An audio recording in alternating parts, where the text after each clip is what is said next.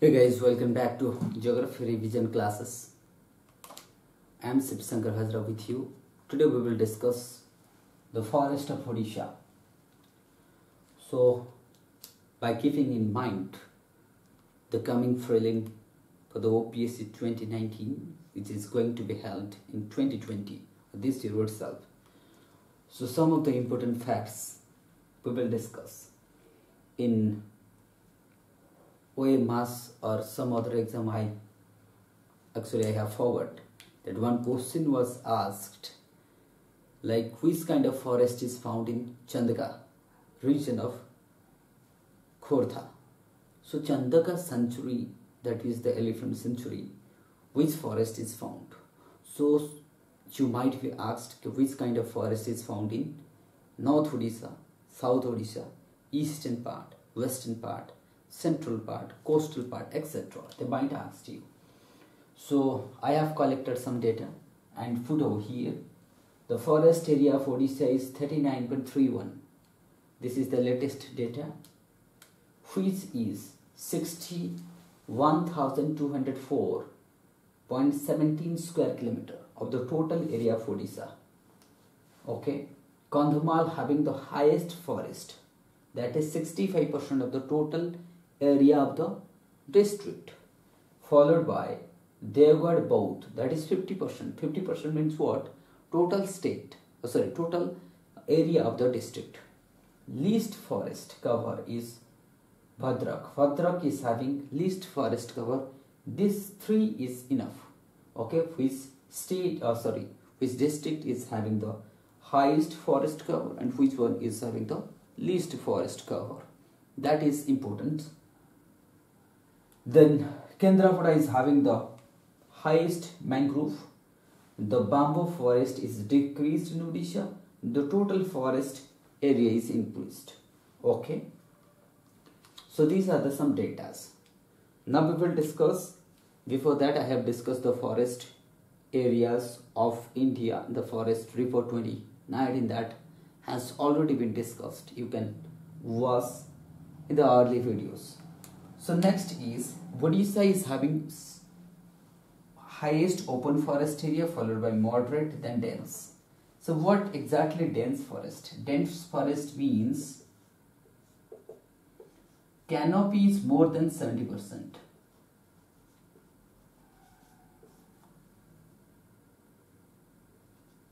Canopy is more than 70%.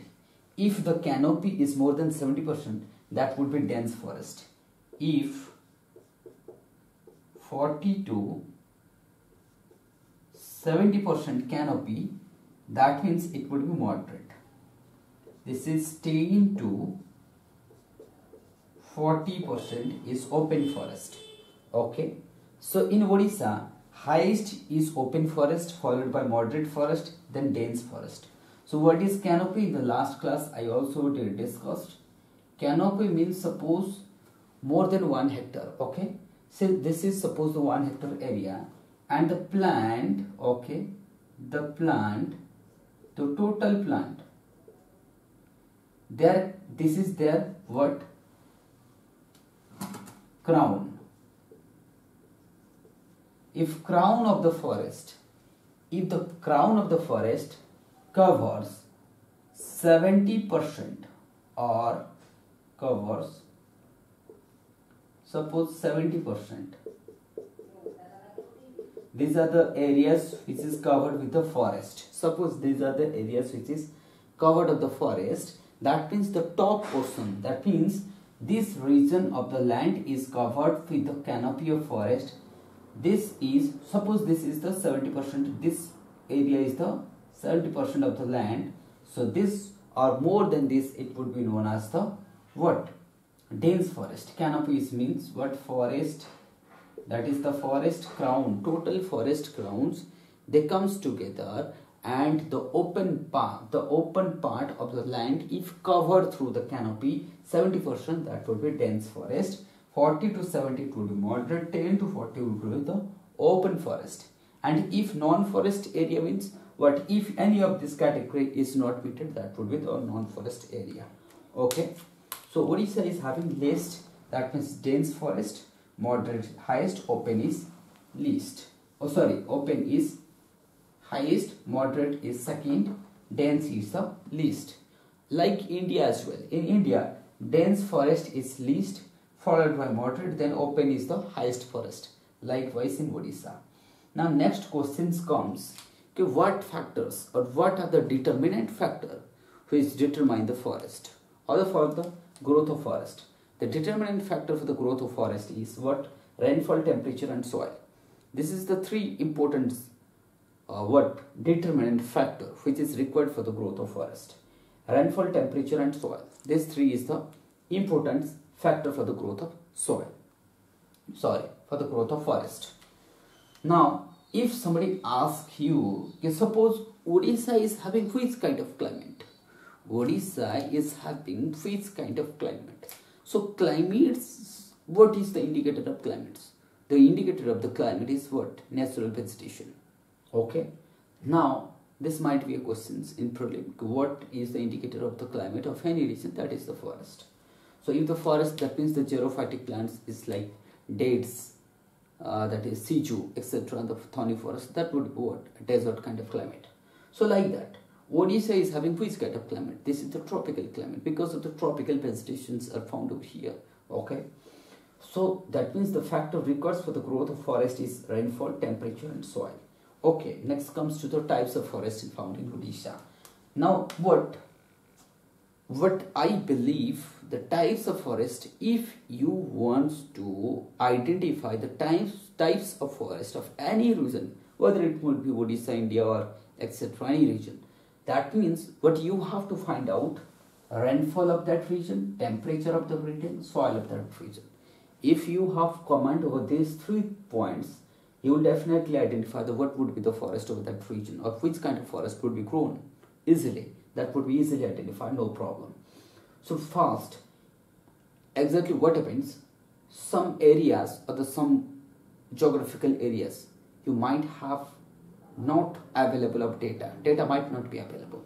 So what we have to apply it. we have to apply that rainfall. If we have rainfall data temperature data soil data we can put it together to find out the what kind of the forest would be found. Okay? So i usually use such kind of tricks to identify the forest of any region. So i will put over here.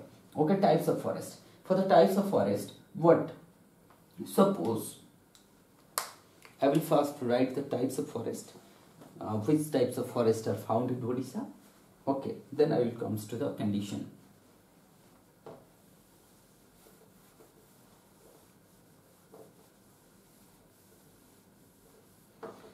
Types of forest Odisha is having first is mangrove forest.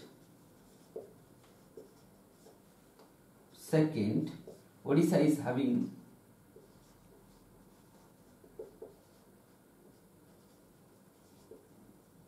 semi-evergreen forest. Odisha is having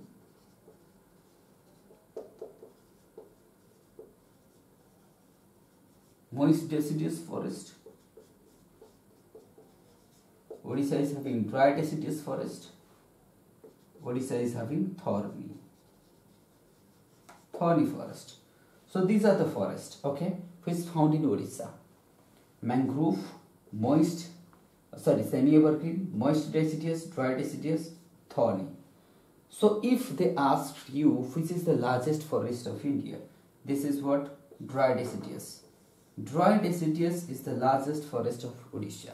That means deciduous forest is the largest forest of Odisha. Like India. In India, the deciduous forest is the largest forest of India. So among among deciduous, it would be what? Dry deciduous. Now comes to the evergreen semi evergreen is 200 centimeters rainfall. 200 to 250 centimeters of rainfall is required okay? Moist deciduous. This would be 100 to 200 then dry deciduous 70 to 100 what centimeters. All other centimeters. And thorny is 30 to 50 this is mangrove is required some different condition like what? Brackish water. Okay.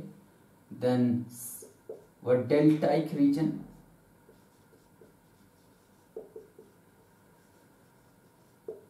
This is the then tropic it should be tropic. Tropical region etc mangrove can be a separate topic so i am not going in deep in mangrove so okay that means what? Semi evergreen temperature is required 200 centimeters on an average you require 200 centimeters. Moist deciduous 100 to 200 oh, sorry.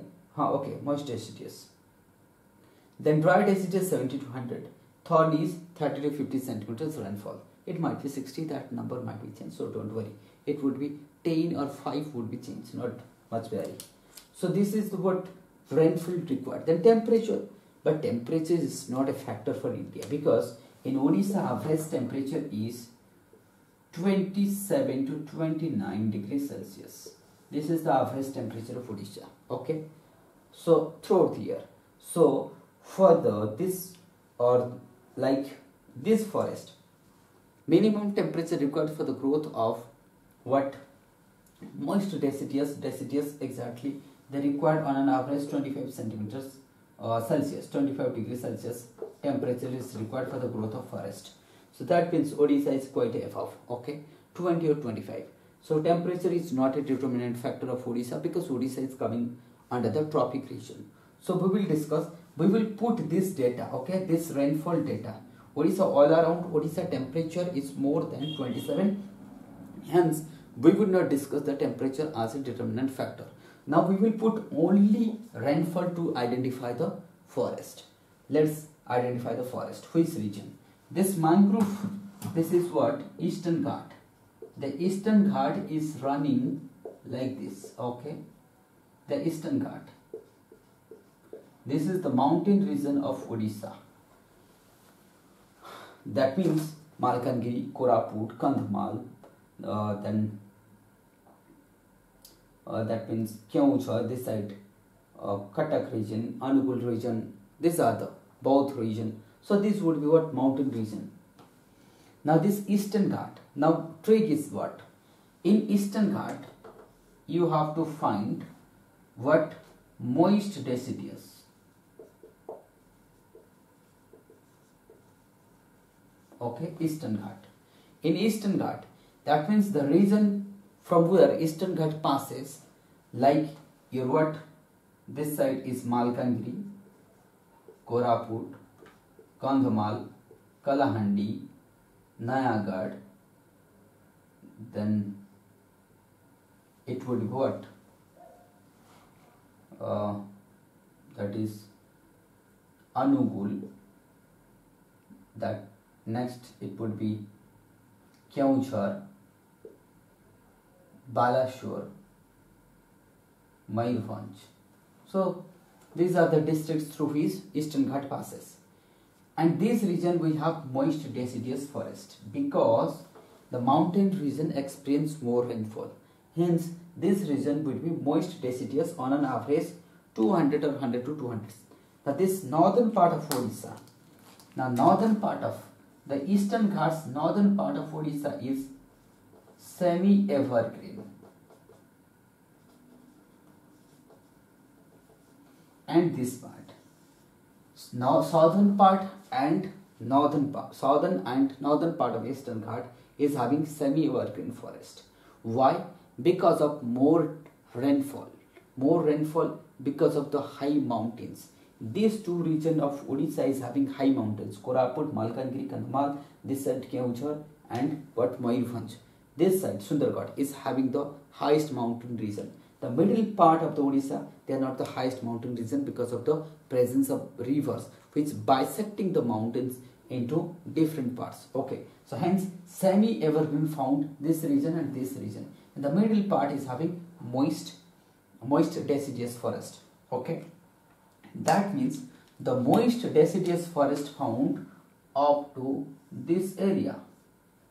Okay, the eastern part of the eastern Ghat, eastern part of the eastern Ghat, like your western part of the Cuttack, then your Chandaka forest, then all this region, Anugul, all this region, it would be Khordha, the forest coming, they are the moist deciduous. They are not dry deciduous. Okay.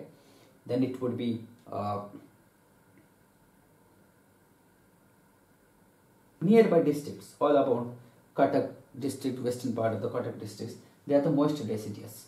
Now this part of Odisha, this part of Odisha, like your what, both, then Nabarangpur here is Nabarangpur, Sunapad etc. This region, the western part of Odisha, this is thorny,